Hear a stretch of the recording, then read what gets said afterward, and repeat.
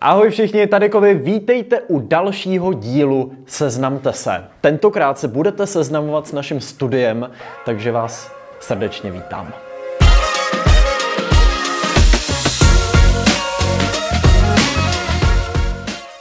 Jmenuji se Karel Kovář a pod přezdívkou Kovy publikuju na YouTube teďka už desátý rok. Já se neživím jenom YouTubem. Za těch deset let posledních mě přišla velká spousta nabídek na spoustu jiných věcí, takže jsem se mohl realizovat moderátorsky, vedl jsem různý rozhovory, mohl jsem být součástí televizních pořadů, jiných konceptů a formátů. Takže vždycky, když přijde nějaká nabídka, ze který mám dojem, že se něco nového naučím, dozvím, tak do toho většinou jdu, protože mám rád výzvy. Co se žánrů týče, já už jsem vystřídal velkou spoustu různých formátů. Začínal jsem let's playem a gameplayem a přesunul jsem se na parodie, pak jsem začal natáčet videa, které byly zprvu spíš vtipný, když jsem seděl před kamerou, pak jsem začal experimentovat s trochu vážnějšíma tématama, zjistil jsem, že je potom velká poptávka a teď jsem vlastně ve stádiu, kdy tohle všechno můžu kombinovat dohromady podle nálady takže podle toho, jak se zrovna cítím, jak jsem kreativně nastavený, podle toho vyberu formát, který chci zrovna natáčet, takže to potom baví nejen mě, ale věřím, že i ty diváky. Přijde mi, že inspirací je mi každodenní život, lidi, který potkávám, mý kamarádi a témata vybírám občas i podle toho, co se aktuálně stane. Takže je možný, že se ještě v pondělí říkám, bude to tohle téma, a pak mě dojde, hele, ale vlastně teďka se hodně mluví o tomhle. Lidi se moc nevyznají, co se děje tady v té sféře, proč se nezaměřit třeba na to. Takže nemám úplně dlouhodobý plány, plánuju třeba dva, tři týdny dopředu momentálně a občas se stane, že do toho vstoupí prostě něco aktuálního. Oblíbené téma samozřejmě, to je cringe, bizar uh, a takový ty guilty pleasures, jak prostě člověk na to kouká, má pocit, že mu vytečou oči a prasknou ušní bubínky a možná i kvůli tomu se na to nemůže přestat koukat. Takže mám oblíbený formát hudebních očistců, kde tak dělám taky sondy do historie současnosti český bizár hudební scény, kam se hrdě řadím taky.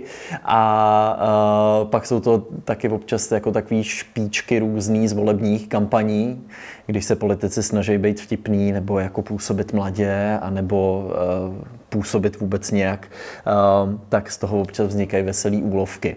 Takže někdy uh, se i ty vlastně seriózní témata snažím prošpikovat občas nějakýma těma vtipnýma perličkama, aby to bylo chvílema odlehčený a dalo se na to trochu líp koukat. Já určitě koukám na čísla, sleduju aktuální trendy, snažím se tu tvorbu proměňovat tak, aby rezonovala s tím, co se aktuálně děje, na co lidi rádi koukají. V poslední době třeba se nebojím dělat delší videa, protože vím, že to lidi ukoukají. Dřív ty videa měly tak 3 až 5 minut, teď mají klidně 20 minut, ale soustředit se jenom na čísla, na tom už spousta tvůrců vyhořela, takže na to se snažím dávat bacha. Krizi jsem za tu dobu, za kterou natáčím, asi úplně neměl, ale je důležitý přijmout to, že je to vlnovka, že to nikdy neporoste, nebo minimálně na začátku, to třeba pár let může, může růst, ale potom nutně musí přijít to zvlnění. A je zajímavý si uvědomit, že spousta těch tvůrců při tom prvním zhoupnutí dolů to rovnou vzdala. Jako by nebyli vůbec připravení na to, že se to začne houpat. A pak se pozná, kdo má podle mě tu vytrvalost, kdo je schopný přijmout to, že někdy to půjde trochu níž, ale že to zase bude příležitost se od toho dna třeba potom odrazit a najít zase nějaký nový impuls. Takže je to vytrvalá práce a, je nutný přijmout to, že žádný strom neroste do nebe, ale je možný ty větve takhle košatě podle mě dávat do větší a větší šíře. Jestli jsem byl někdy nejblíž možná syndromu vyhoření, tak to bylo při mém přechodu z jednoho kanálu na druhý. Už jsem hodně vlastně jako recykloval ty let's play, parodie. Už jsem byl hodně zaškatulkovaný v tom, kdo jako tvůrce jsem a cítil jsem tu potřebu z té škatulky jako vykročit. A to mě umožnil ten kanál, na kterém vlastně publikuju dneska, úplně mě rozvázal ruce, co se týče formátů, kreativity a mohl jsem vymýšlet úplně cokoliv. Takže to byl někdy rok 2015, asi po třech letech té tvorby a kdybych býval ten restart neudělal, tak už dneska možná vůbec nenatáčím. No. Co se týče nějakých zprávařských, když to řeknu, formátů, nebo tematických videí, které pokrývají nějaký jako opravdu závažné situace nebo kontroverzní situace, politické situace. Tam je ta zodpovědnost vůči tomu divákovi mnohem vyšší, ten tlak je mnohem vyšší. Člověk si tu rešerši musí udělat velmi dobře, aby se mohl za to video postavit, aby ho mohl odzdrojovat a lidi se mohli koukat, odkud čerpal.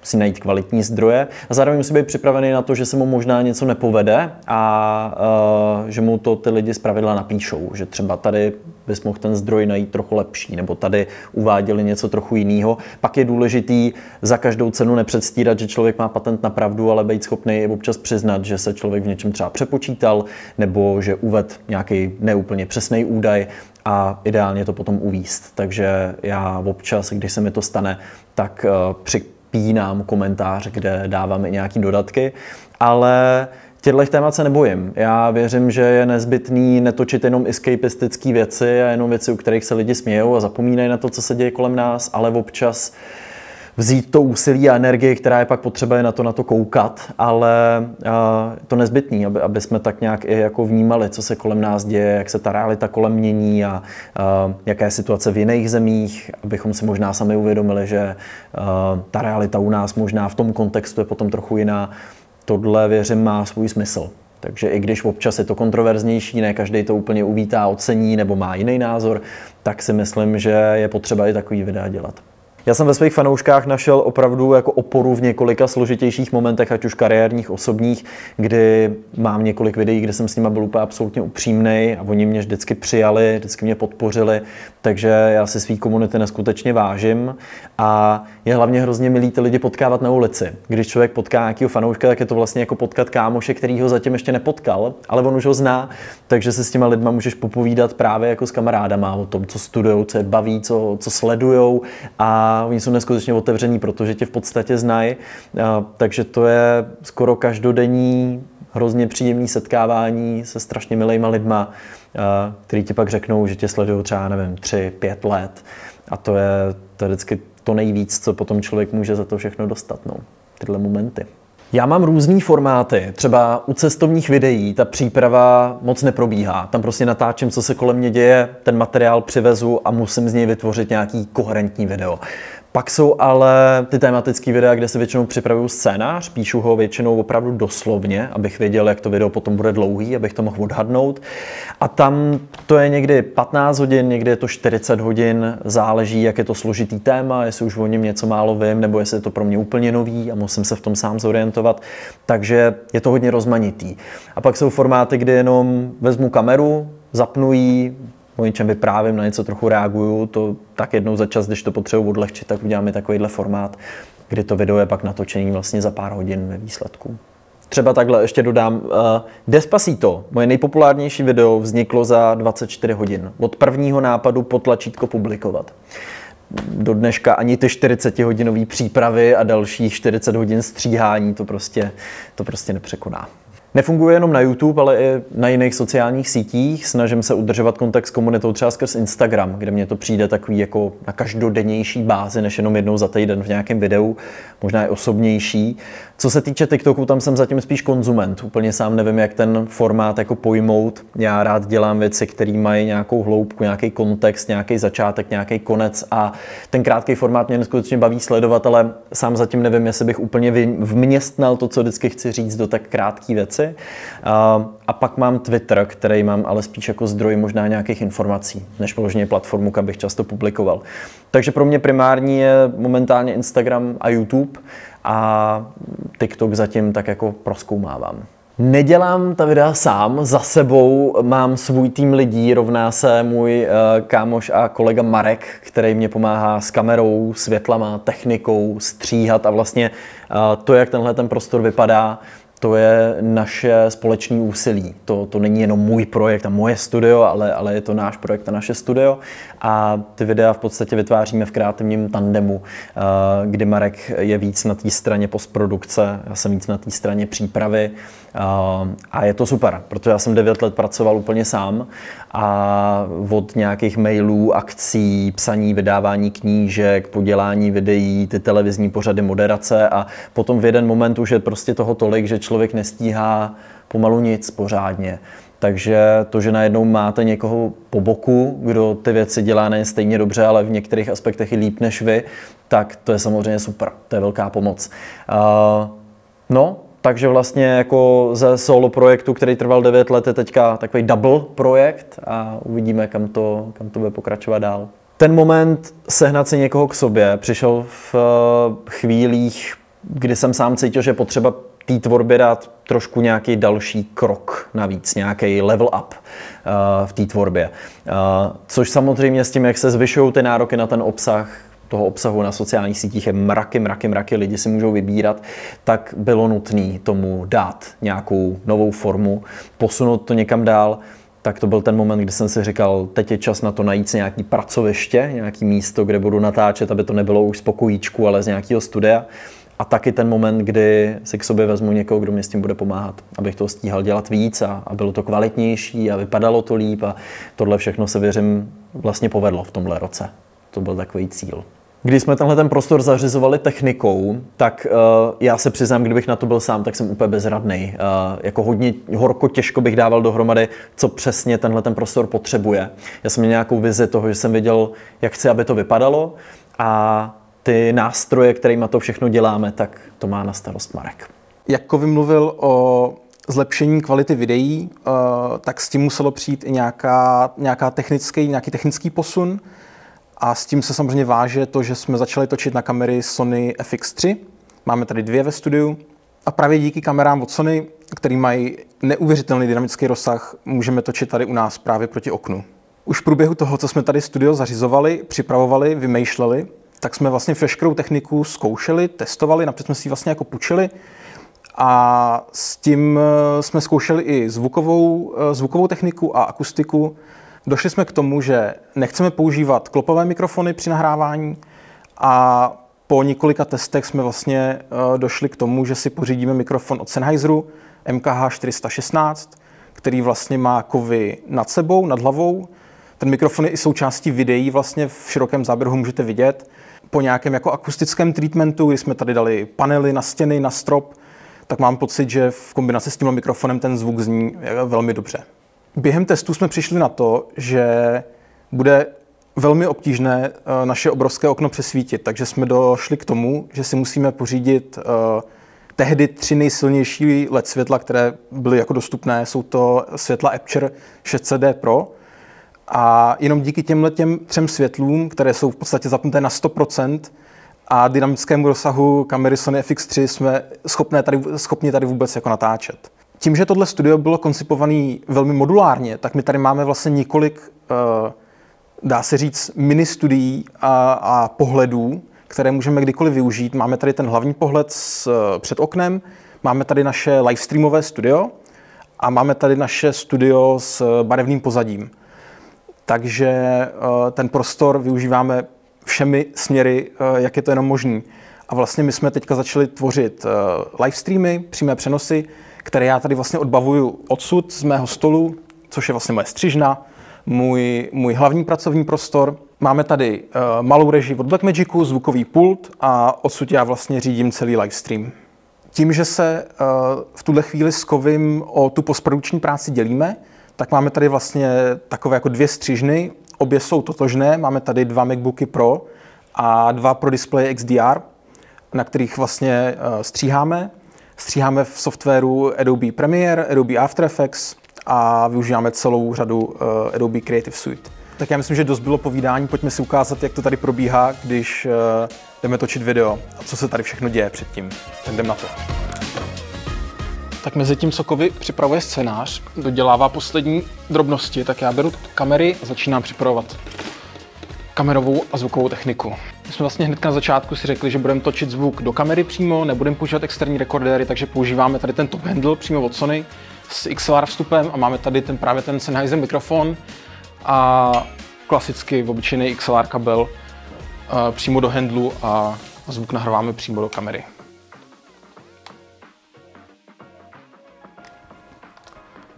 Tady je vlastně zajímavý, že na tom středovém světle nepoužíváme softbox, používáme tady balón, a to mělo vlastně velmi jednoduchý důvod. A to, že jsme to světlo potřebovali co nejvýš ke stropu, protože ačkoliv ty stropy jsou relativně vysoký, tak pořád nejsou, jakoby, nejsou to, není to studio klasický filmový.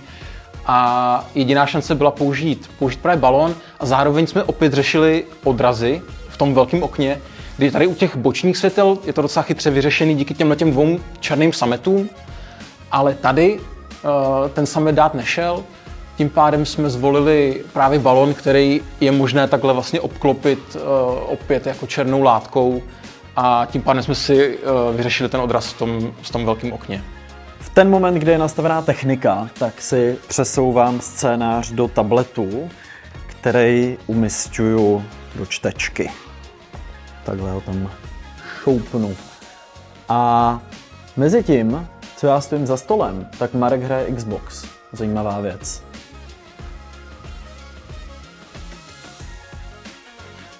Ve čtečce mi teďka jede text, Marek mě ho vždycky posouvá zpátky, když se vracíme třeba o odstavec. Já si ho většinou docela pamatuju z toho, jak píšu, ale je super tam mít tu oporu tom, že vy vlastně koukáte trochu skrz ten text a periferně vnímáte ty slovíčka okolo, takže vám to trochu pomáhá v tom, abyste nestratili nit. Dřív jsem videa točil tak, že jsem vždycky koukal do počítače, pak do kamery, pak do počítače, pak do kamery. Často jsem to nemohl ani nastřihnout, protože jsem začínal mluvit už v tomhle, takže tohle je výhoda, že jsem ušetřen tady cukání hlavou. A, takže Marku, když mě to pauzneš teďka, vrátíš trochu zpátky, to nejčastější, tak ještě jednou a jedem. A já můžu začít vyprávět, že třeba, uh, co to tam mám, ano, Popelka dělá podřadné práce, což je takhle jako bez kontextu, to vypadá, že natáčíme o Popelce video, ale je to součástí tady videa o kreativitě. Já si vzpomínám, jak jsme tu byli poprvé v tom prostoru. Já to mám stejně, když vybírám byt, že potřebuju mít ten pocit, že cítím nějakou správnou energii v tom místě, se v něm cítím dobře, že na první dobrou navážem ten správný kontakt. A tenhle ten prostor vznikal původně jako malířský ateliér. Působil tady třeba Max Švabinský a je znát, že i ten prostor byl koncipovaný tak, ať už je to, to velký okno, spousta světla, výhled na památku, byl koncipovaný tak, aby člověka inspiroval. Takže já jsem od první chvíle z tohohle prostoru ten pocit měl a reálně to tak funguje. Prostě tenhle prostor už byl od začátku stavěný pro to, aby tady vznikaly kreativní věci a pracuje se nám tady výborně. Myslím, že jsme dobře zvolili tu velikost, která nám umožňuje z něj dělat takový modulární prostor, že máme prostě tři různé sety, které můžeme střídat a uh, myslím si, že nám to pomáhá už jenom tím, že máme nějaké místo, do kterého můžeme chodit, který máme spojený s tím, že se v něm pracuje. Mě to hodně pomáhá třeba s tím fokusem na tu práci, kde jsem si dokázal oddělit. Tady bydlím, tady žiju, tady tvořím a tady pracuju. Když se mě dřív lidi ptali na to, jak se jako youtuber uživit, tak jsem vždycky zmiňoval, že bohužel musí nějakým způsobem zasáhnout mainstreamový publikum, aby měli dost zhlédnutí, aby měli dost příjmu z reklamy. To už dneska díky bohu neplatí. Jsou tady platformy jako Hero, Hero Patreon, YouTube členství, skrz který můžou přímo diváci ty tvůrce podporovat.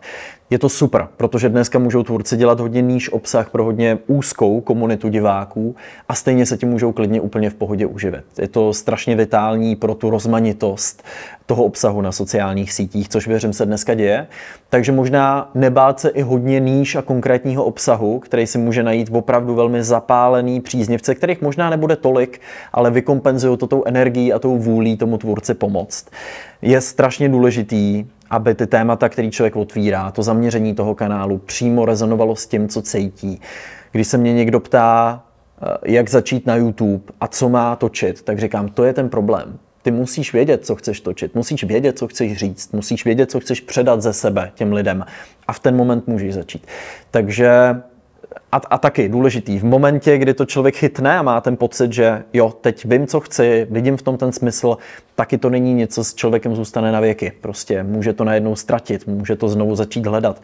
Takže možná i přistoupit na to, že je to takový neustálý, snažení se uh, ten smysl cítit a, a mít ten pocit, že opravdu člověk dává něco nejryzejšího ze sebe, co může, že ho to baví, uh, tak je to takový nekonečný proces. Takže vždycky ta moje hlavní rada je, aby to prostě bylo upřímné, aby to člověka bavilo, aby ho to naplňovalo. Pak to bude bavit i ty diváky. V momentě, kdy děláš kvalitní content, ty lidi si ho věřím prostě najdou, dřív nebo později.